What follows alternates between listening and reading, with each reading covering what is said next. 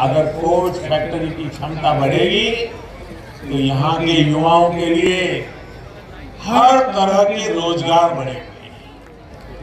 उस दिन के बारे में सोचिए, जब यहाँ हर रोज 10-12 नए कोच बनने लगेंगे। इस फैक्ट्री की क्षमता का विस्तार कामगारों, इंजीनियरों टेक्नीशियनों डिप्लोमा होल्डर्स के लिए भी रोज़गार के नए अवसर लेकर के आए। प्रधानमंत्री नरेंद्र मोदी ने आज रायबरेली में रेल कोच फैक्ट्री का निरीक्षण किया और नौसवें रेल कोच को हरी झंडी भी दिखाई।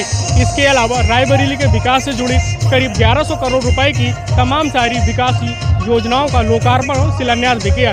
इसके अलावा प्रधानमंत्री नरेंद्र मोदी ने रायबरेली में ही कांग्रेस परिवार को ठीक से घेरने का प्रयास किया। नरेंद्र मोदी ने कांग्रेस पर निशाना साधते हुए कहा कि कांग्रेस को देश की रक्षा से कोई मतलब नहीं है। रक्षा सौदों को लेकर भ्रष्टाचार के आरोप लगाए जा रहे हैं, जो अपने आप में मज़ाक की बात है। इसके अलावा प्रधानमंत्री नरेंद्र मोदी ने कांग्रेस सरकार के समय हुए रक्षा सौदों में भ्रष्टाचार की भी बात बताते हुए कांग्रेस पार्टी पर तमाम तरह के आरोप भी लगाए।